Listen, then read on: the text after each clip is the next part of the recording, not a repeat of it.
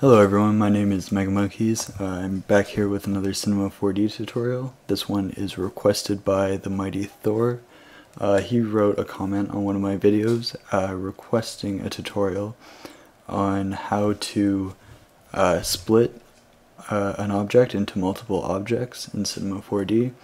Uh, in his case, he downloaded this helicopter stock model from tf3dm.com um, and some parts of the model were not grouped correctly. Uh, so I'm going to try and show him how to fix that. Um, and hopefully you uh, will be able to learn from it as well. Alright, so here is the 3D model as it comes and as you'll be able to see some of the grouping is a little strange. Um, so for example, we might want to have the blades spinning because that's what they do. It's a helicopter.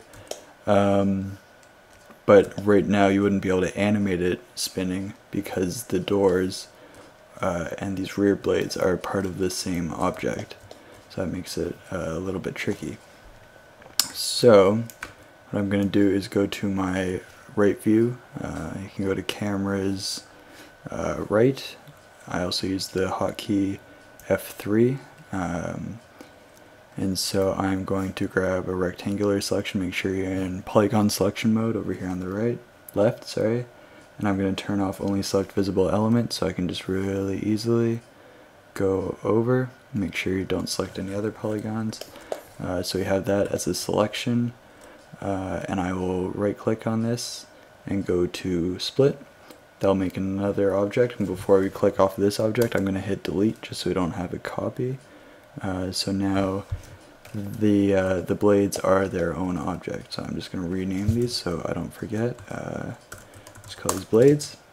Um, and so now another important thing uh, F2 for top view is just to um, set the axis. So that when we do animate them spinning they will be on the correct axis because right now if we did you can see it doesn't spin in a proper circle. Uh, so I'll go to the axis mode. L is the uh, hotkey for that. And just move this to the center. Go out of uh, axis mode rotate. And now you can see that it spins on its proper axis. Um, okay, so I won't go through the same thing for all of these, for all of the doors, because it is the same principle. Just make sure to select only the polygons you want. Um, but there was also an issue on this chassis object. Um, the windows aren't included, so we're going to do the opposite. We're going to combine uh, the glass and the chassis object, but only for for the part that's connected to the chassis, not the doors. We would do take a similar process for the doors. Um, so we let's use the lasso selection tool. This time I will turn on only select visible elements uh, and just quickly go over. Uh, that did not work like I wanted it to. Um, select this. Interesting. Okay, I guess I will turn off only select visible elements because there are some normal uh, adjustments and then just remove everything I don't want later. And I'm holding down the shift key to add to my selection here. Whoops, don't want to do that. Um, so that we don't have to make multiple selections. Uh, okay. We have that. And now I'm just going to make sure I don't have any polygons selected that I don't want to. It doesn't look like I do.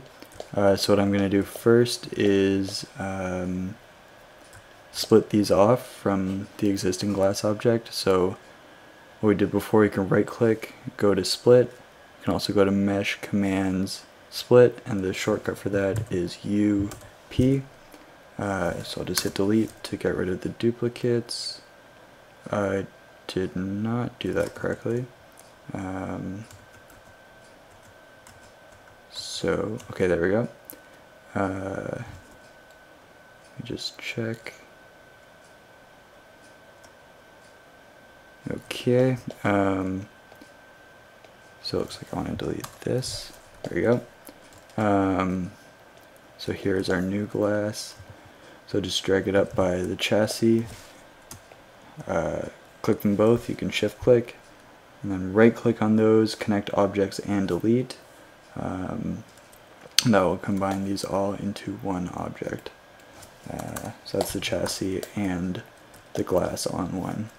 So what I would do next is uh, do the same thing for the individual doors and then remember to make sure to align the axis so you can animate them opening. So you do that on the hinge. Um, we'll do the same thing for these rear blades. Uh,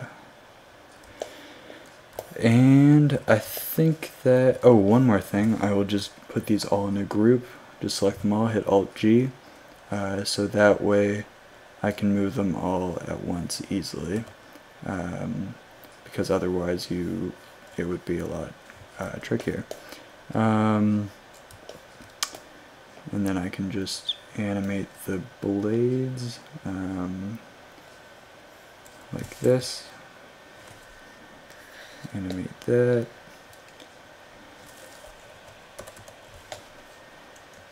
Setting control click on that keyframe to animate. And so now we have a separate animation that's very quick. Um, and so yeah, I hope that that um, solves your question, Mighty Thor. Uh, again, this model is from tf3dm.com. I did not make it, so I don't want to take credit. Uh, so yeah, I hope that that has helped you. Uh, thanks for watching.